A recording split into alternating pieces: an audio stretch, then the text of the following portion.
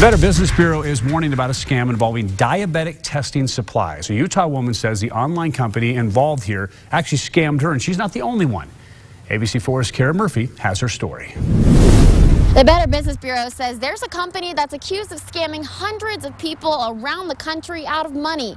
And one West Jordan woman says she was a victim of this company and they're preying on people with diabetes or other medical issues.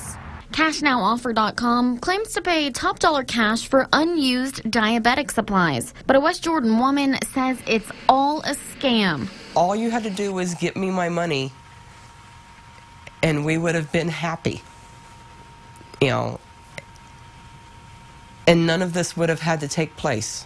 After sending the company supplies more than a year ago, Patricia Welch says she hasn't received a dime. They said, Well, why are you complaining over $95? And I said, because that's $95 that I don't have. So she went to the Better Business Bureau for help.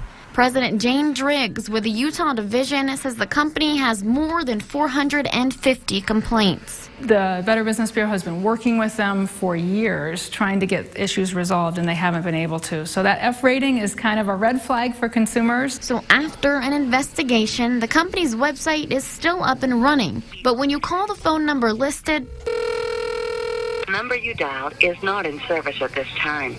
Welch says she hopes other consumers take her mistake as a warning. If I wouldn't have just taken the reviews from their website, I wouldn't have been in this position. The Better Business Bureau says if you believe you've been a victim of this company or another scam, always make sure to report it. It's always safe to have that documentation on paper. Reporting in West Jordan, Kara Murphy, ABC4 News. Now, the Better Business Bureau first issued a warning against the company back in May after an initial investigation uncovered a pattern of consumer allegations. The company now has allegations, get this, from consumers in 46 states.